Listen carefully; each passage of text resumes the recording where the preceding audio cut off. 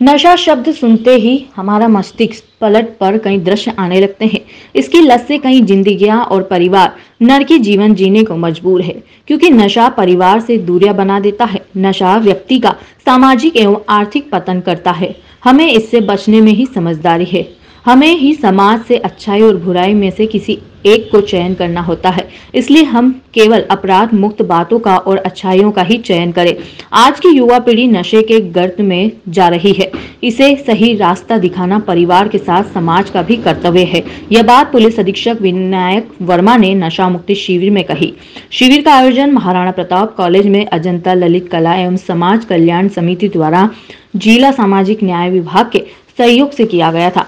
शिविर में कॉलेज के विद्यार्थी एवं स्थानीय नागरिक बड़ी संख्या में शामिल हुए। इस अवसर पर सामाजिक न्याय विभाग के उप संचालक डॉक्टर पी के मिश्रा, कैंसर रोग विशेषज्ञ डॉक्टर अभिषेक श्रीवास्तव एवं मनोवैज्ञानिक भूपेन्द्र सिंह एवं समाज कल्याण समिति की अध्यक्ष श्रीमती इंदिरा वेद प्रकाश शर्मा उपस्थित रहे। मैं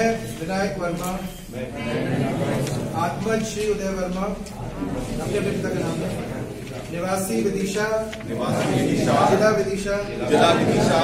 ईशु आपके दोस्त कुछ कर रहे हैं आप अलग चल रहे हो तो कहता हैं अरे यार ये तो ऐसा ही है फालतू आदमी है ये कूल नहीं है this guy is not one of us तो मैं यहाँ पर क्यों? हूँ तो पहली बात तो ये कि पहला काम नशा मुक्ति का सेक्रेटरी वालों का होता है जो मनोरोग चिकित्सक होते हैं।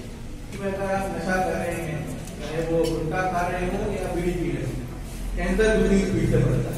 समाज का और हमारे देश में सती प्रथा जैसी कई तरह की इस समाज ने एक कदम उठाया।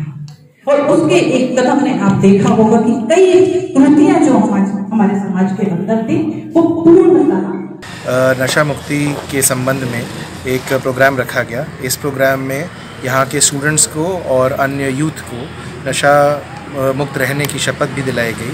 साथ ही महात्मा गांधी को भी स्मरण किया गया, क्योंकि आज शहीद दिवस है। और मैं इसके आयोजकों की डॉक्टर शर्मा की और डॉक्टर साहब की तारीफ़ करना चाहूँगा कि बहुत ही आवश्यक उन्होंने कार्यक्रम रखा है।